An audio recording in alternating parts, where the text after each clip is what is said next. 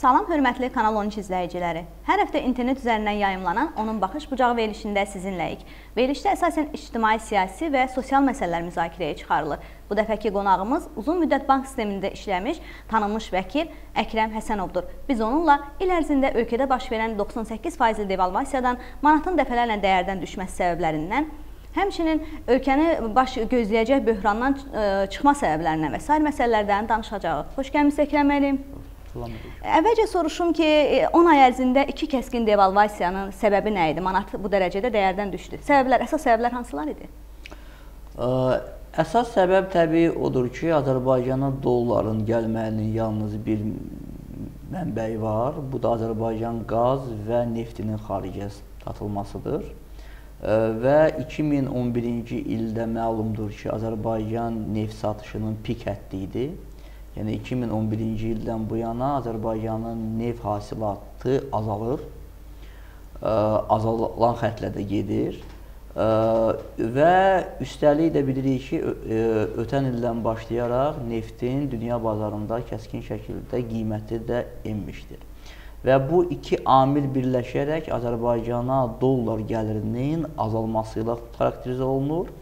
Və aydın məsələdir ki, istənilən əmtəyə, ölkəyə az gəlirsə, onun qiyməti də artır. Azərbaycana dollar az gəldiyi üçün qiyməti də artır. Bəs səbəb nə idi ki, birinci devalvasiyadan sonra Mərkəzi Bank yenidən manatın sabit saxlanması üçün pul xərclədi və nəticədə valyut ehtiyaclarımız əridi. Səbəb nə idi? Manat birincidən sonra yenə saxlandı. Burada həm obyektiv, həm də müəyyən subyektiv səbəblər var, mən hesab edirəm. Əslində hesab edirəm ki, biraz əvvələ qayıtsaq, hesab edirəm Mərkəzi Bank artıq bir neçə il bundan əvvəl üzən məzənnəyə keçməli idi.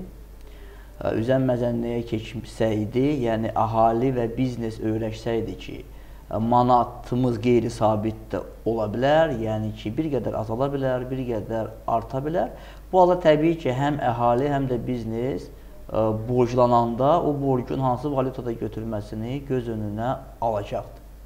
Amma burada mən hesab edirəm ki, müəyyən subyektiv səbəblər daha çoxdur. Yəni Mərkəzi Bankın indiki ə, idarə heyəti ə, prezidentin və hökumətin gözündən pərdə asmaq üçün, əhalinin gözündən pərdə asmaq üçün ki, manatımız sabitdir, hər şey gözəldir və öz iş yerlərində daha çox qalmaq üçün bunu etmirdilər.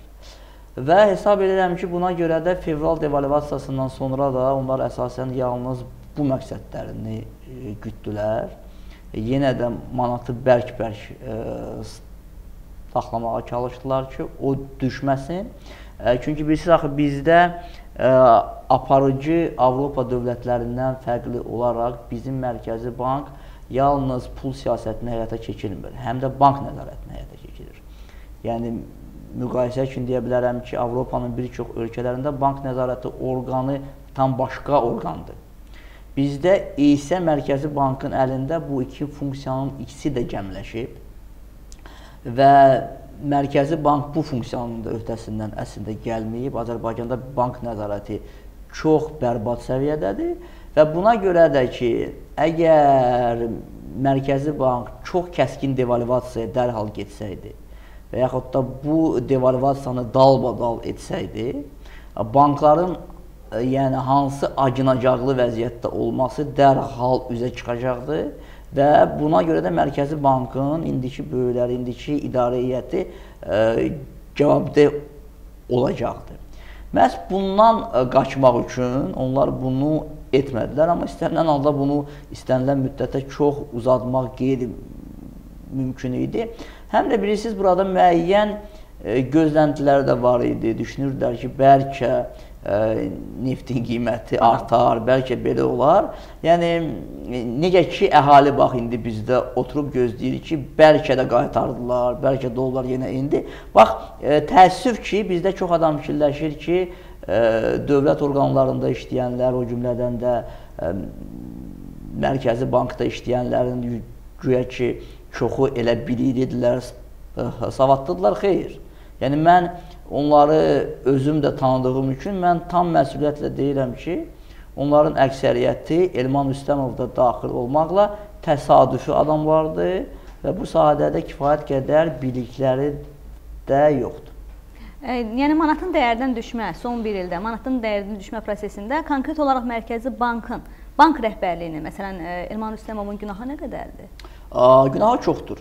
Yəni günahı çoxdur. Birincisi bax elə bayaq qeyd etdiyim kimi, əgər artıq bir neçə il bundan əvvəl o manatın qiymətini bazara uyğunlaşdırsaydı, yəni ki, manatı belə deyim də 10 ildən çoxdur ki, manatın dollara olan məzənnəsi tam sabit idi.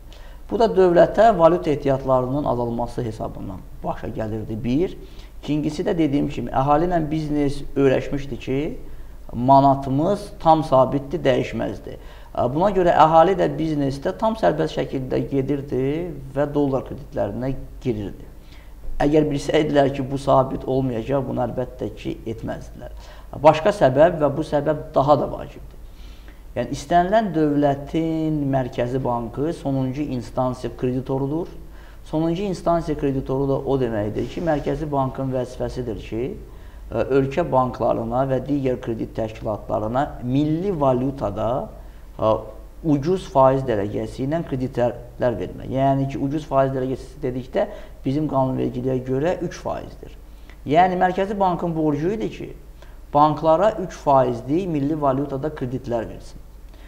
Əgər Mərkəzi Bank bunu ə, təbii ki, etsəydi illər boyu, deməli banklar da öz növbəsində əhaliyə kreditləri milli valyutada verəcəkdilər və nəinki əhaliyə, biznesə də. Yəni bizdə indi bilirsiniz, hamı dedikdə əhaliyə daha çox diqqət verir və bu da tam başa düşüləndir.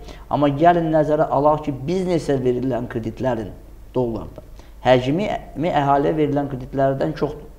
Yəni biznesin vəziyyəti daha da ağırdır indi indi əslində. Və və o kreditlər verilməyib. Yəni baxın, yəni Mərkəzi Bank banklara, yəni milli valyutada kredit vermirdi. Banklar da pul cəlb etmək üçün üst tuturdular beynəlxalq institutlara, beynəlxalq, hansısa beynəlxalq qurumlardan kredit alırdılar. Təbii o kredit də dollarda olurdu. Banklar da məcbur idi ki, dollardan aldığı krediti əhaliyə və biznesə də dollarla verirdi. Amma mən bir də deyirəm, əgər Mərkəzi Bank bunu vaxtında etsəydi, əlbəttə ki, tam başqa vəziyyət olacaqdı. Bunun da məndən tez-tez soruşulur ki, bəs niyə Mərkəzi Bank etmirdi bunu? Tamam, bu da sual. Hə, niyə etmirdi? Bunun da obyektiv və subyektiv səbəbləri var. Obyektiv odur ki, belə sistemin qurulması kifayət qədər bilik tələb edir.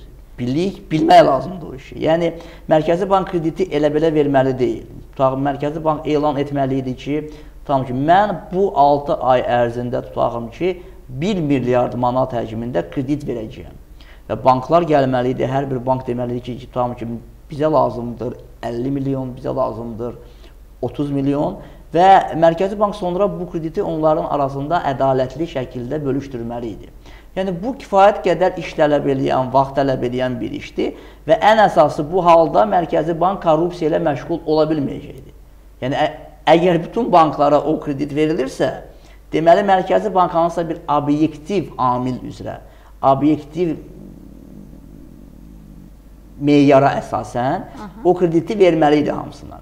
Mərkəzi Bankı da artıq mən deməli bu obyektiv səbəbdən keçirəm artıq ə, su obyektiv səbəbə ki, yəni çox güman ki, onları bu qane etmirdi və biz əks şeyi görürük. Əksi də o idi ki, Mərkəzi Bank ötən müddət ərzində hansı banka hansı məbləğdə kredit verməyi özü müəyyənləşdirirdi. Bu da ki, təbii ki, Azərbaycan şəraitində dövlət məmurunun öz mülahizəsinə buraxanda ki, sən kimə istəyirsən ver, kimə istəyirsən vermə, bu prosesin necə baş verdiyini yəqin ki, hamı gözəl bilir.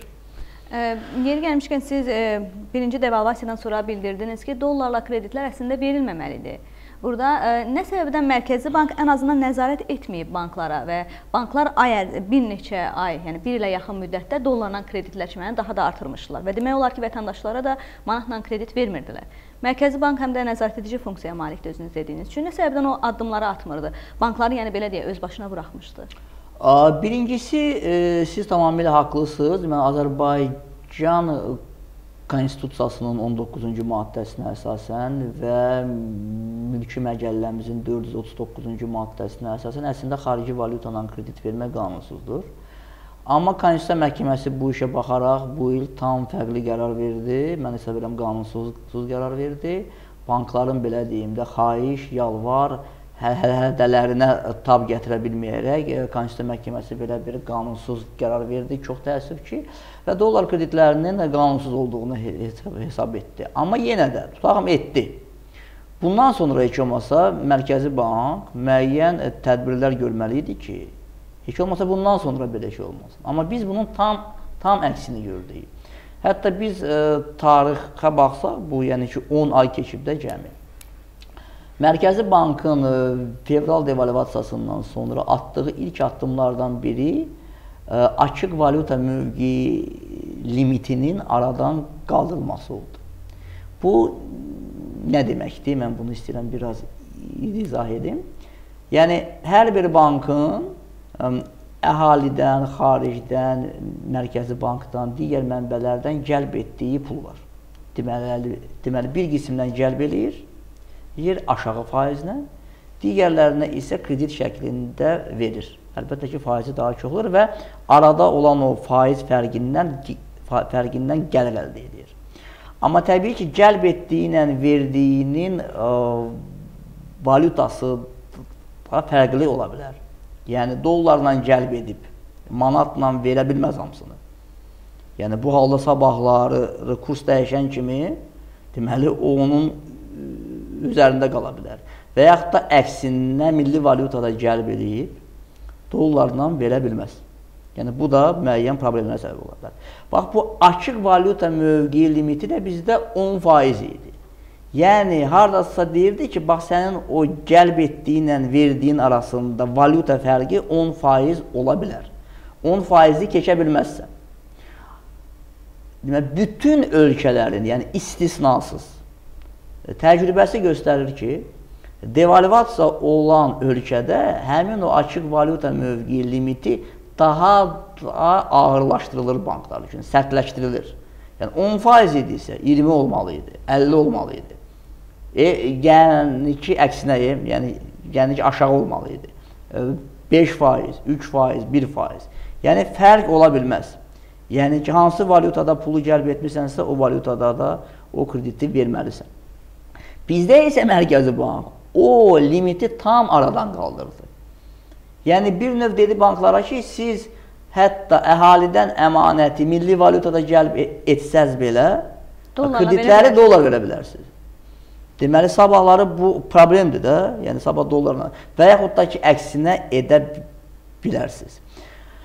Yəni, Mərkəzi Bank buna getdi, birincisi və bununla da növbəti devalvasiyasının əsasını qoydu.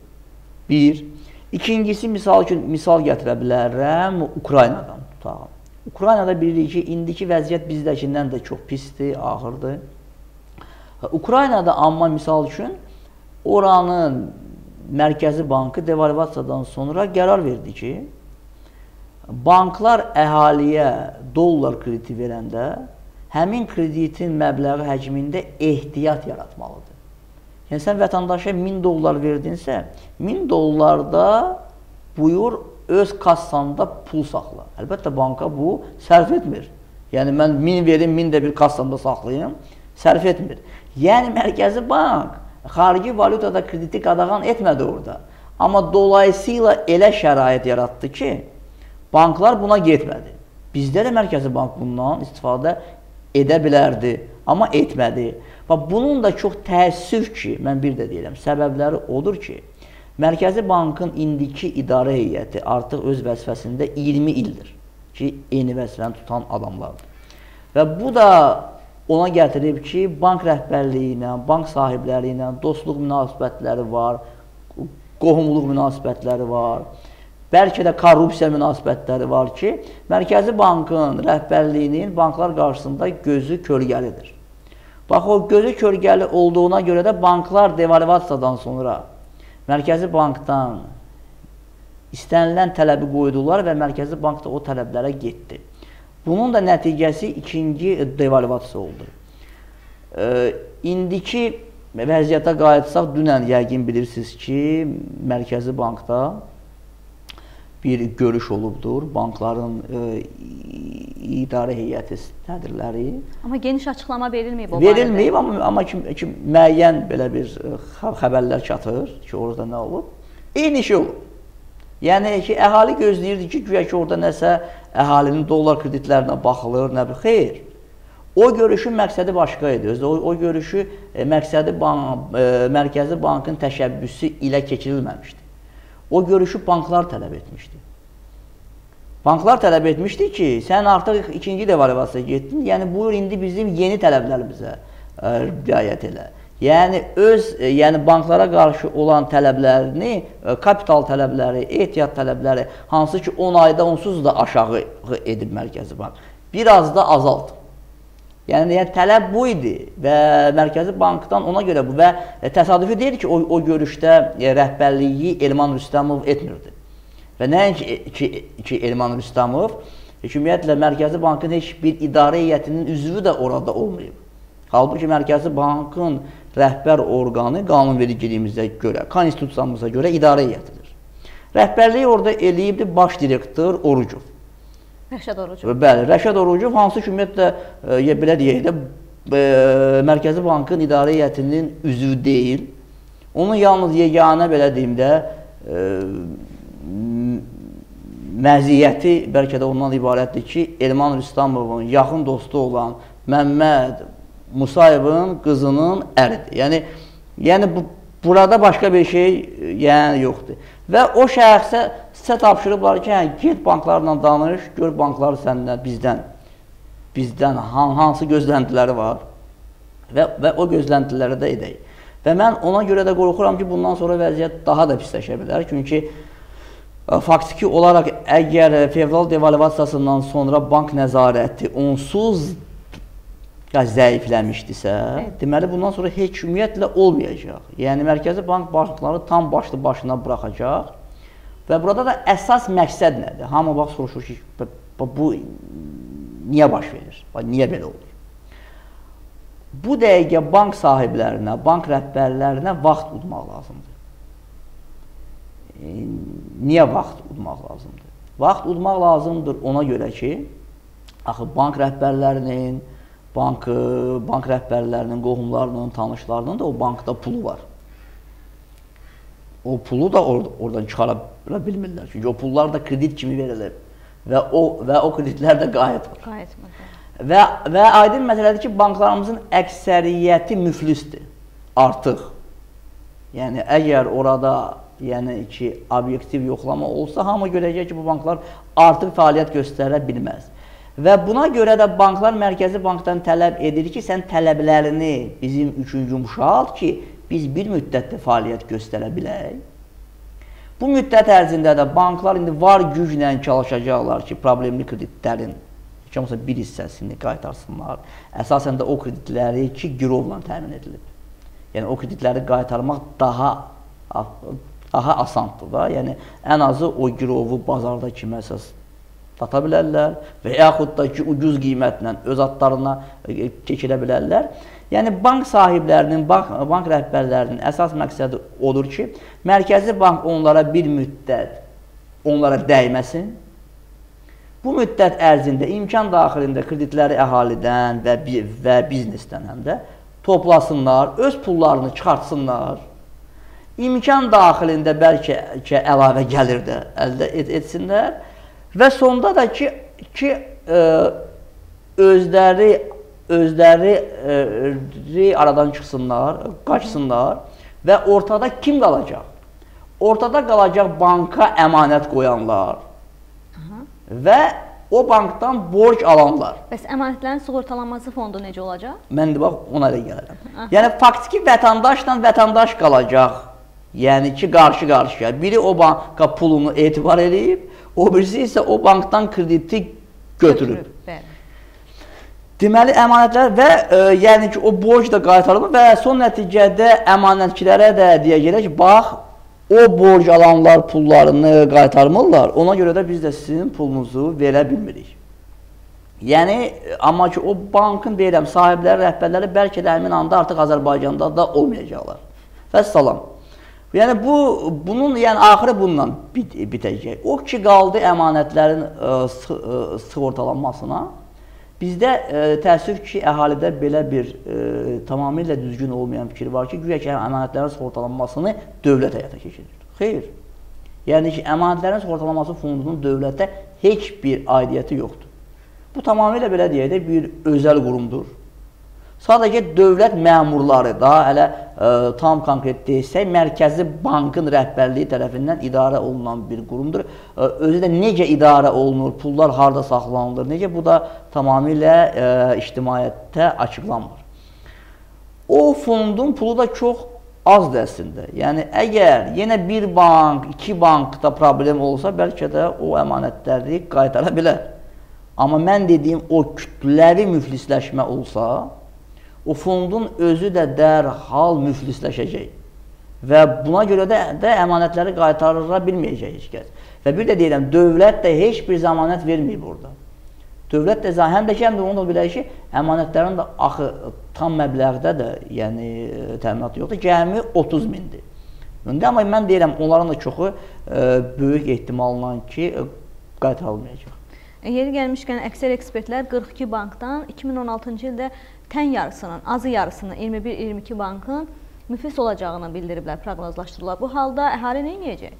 Yəni əmanətini götürə bilməyəcək. O halda Bu əslində ən yaxşı ssenaridir. Yəni ki, bankların yarısı. Bu yalnız o halda baş verə bilər ki, Mərkəzi Bankın indiki idarəiyyəti vəzifəsindən kənarlaşdırılmalıdır.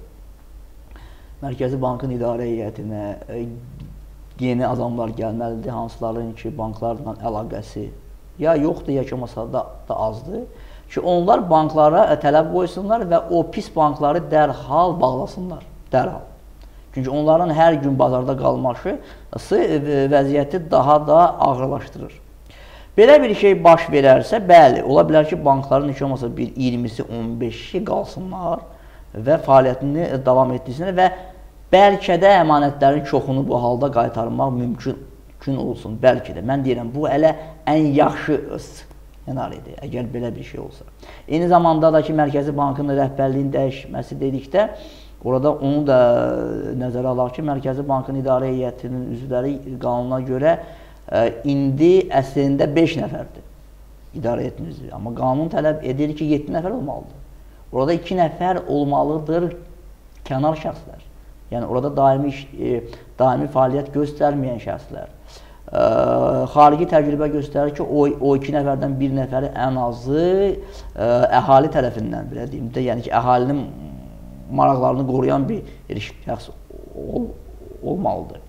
Yəni belə bir şey olsa, bəlkə də belə olar. Amma yaxın müddətdə Mərkəzi Bankın idarə heyəti olduğu tərkibdə qalarsa, Mən qorxuram ki, ümumiyyətlə biz gələn il bank sisteminin tam çökməsini biz görəcəyik. Tam da köksə ümumiyyətlə heç bir əmanətlərin qartalmasından söhbət gedə bilməz. Bəzi ekspertlər bildirirlər ki, iki dəfə xalqı aldadan Elman Rüstəmov ən az istifaya getməlidir. Çünki o hər devalvasiyadan 1-2 gün öncə çıxıb açıqlama vermişdi ki, manatın düşmə təhlükəsi yoxdur. Mən belə bir sual verərdim. Sizcə Mərkəzi Bankın rəhbəri dövlət başçısının iradəsindən kənarmı hərəkət etmişdi o manatı ə, e, üzə məzənəyə keçirərkən? Belə deyək, əvvəla mən o fikirləri tam bölüşürəm ki, Elman Rüstəmov istefa verməlidir. Çünki ümumiyyətlə bank sistemi kredit sistemidir ümumilikdə və ə, kredit ə, sözünün də mənası etibar deməkdir. Etimad deməkdir. Əgər e, bank sisteminə elə şəxs rəhbərlik edirsə ki, o cəmaatı aldadır, yəni o sistemə etibar, etimad ola bilməz. Buna görə ən azı buna görə həmin şəxs vəzifəsindən kənarlaşmalıdır. Mən hesab etmirəm ki, Elman Rüstamov hə, həm birinci devalvasiyanı edəndə, həm də ki, ikinci devalvasiyanı edəndə ə, cənab prezidentin iradəsinə zidd hərəkət edibdi. Sadəcə o ə, əvvəllər onun iradəsinə zidd hərəkət edib. Yəni onu aldadanda, ona düzgün məlumat verməyəndə, onun gözündən pərdə asanda ki, hər şey əladır. Amma son nəticə çünki bizim hamımızın xatirindədir ki, hətta keçən ilin sonunda da sonunda da cənab prezident dedi ki, devalvasiya olmayacaq. Yəni ona məlumatlar elə şəkildə ötürülürdü ki, o da fikirləşirdi ki, olmayacaq. Amma bu ilin əvvəlində fevralda artıq, yəni vəziyyət pisləşəndə ona gəlib deyəndə ki, vəziyyət belədir, artıq aydın məsələ idi ki, devalvasiyadan qaçmaq mümkün deyil. Həm də gəlin onu da nəzərə alaq ki, bu il, bu il ərzində bir sıra ölkənin milli valyutası devalvasiya olub. Yəni burada demək olmaz ki, Azərbaycanda nəsə belə bir qeyri-adi bir şey baş verir. Devalvasiya e, dünyada gedən proseslərə baxsaq, Azərbaycanda da qaçılmaz idi. Və burada heç kəs də bunun qarşısını ala bilməzdi. Amma sadəcə Azərbaycanda bu prosesin daha ağır nəticələrlə baş verib bizdə. Yəni misal üçün biz hətta baxsaq Türkiyəyə, Rusiyaya, Qazaxstana ki, harda devalvasiya olub da, Çinə baxsaq, Çində də olub. Amma orada belə ağır nəticələr verməyib. Niyə? Çünki əvvəla vaxtında da edilib və buna görə də ölkənin qızıl valyuta ehtiyatları bizdəki kimi xeyli hissəsi getməyib. Və ikincisi də ki, əhaliyə, ən azı əhaliyə vaxtında dollar kreditləri verilməyib orada və buna görə devalvasiyanın belə də ağır nəticəsi olmayıb. Və buna görə də mənim əsas fikrim ondadır ki, devalvasiya qaçılmaz idi. Amma devalvasiya Azərbaycanda əhali üçün daha ağır olub. Son olaraq soruşum. Növbəti ildə neçə e, devalvasiyanı proqnozlaşdırmaq olar və devalvasiya yəni olacaqmı? Olacaqsa neçə faizli olacaq? Əhali çünki e, təhl e, narahatdır. Fikirləşirlər ki, növbəti ildə manat bir neçə dəfə dəyərdən düşə bilər. Hətta 1 dollar 3-5 manat civarında ola bilər. Bəzi ekspertlər də bu fikirləri təsdiqləyirlər.